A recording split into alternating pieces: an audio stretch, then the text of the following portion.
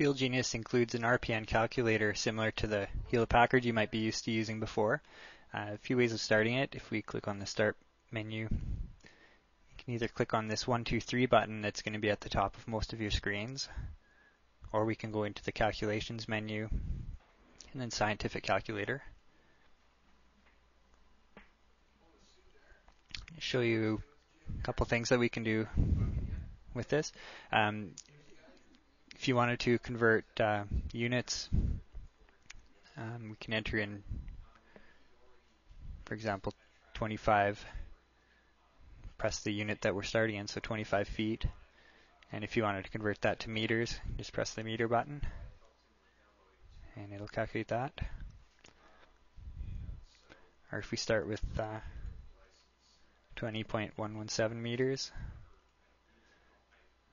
when we convert that to feet, of course we'll get 66 feet, or US survey feet. You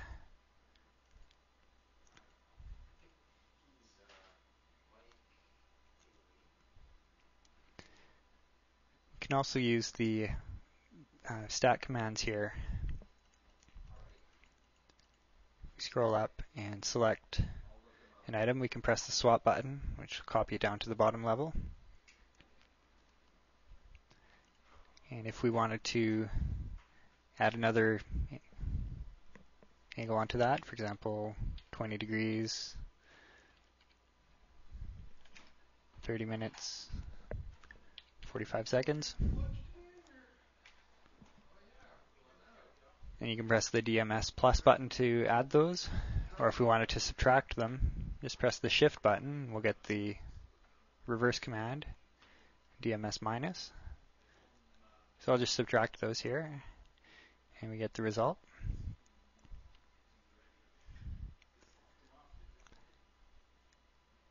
Another way that we can start the command is through a lot of our extended edit fields. For example, in the traverse intersection, with both the direction and distance, if we double tap on that, it'll open up the calculator and copy the current value that's there into the calculator.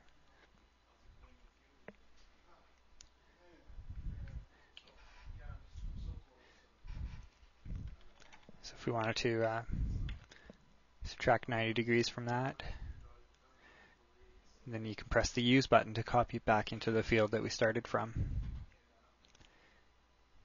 If you accidentally got into the calculator and you don't want to put the, the new field there, just press shift and then close, which will close the calculator without changing anything in here.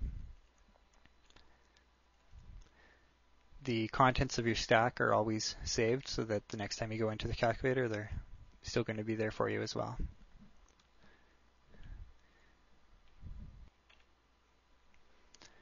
Or another quick way of getting into the calculator is just pressing the F key on your keyboard, which will open it up.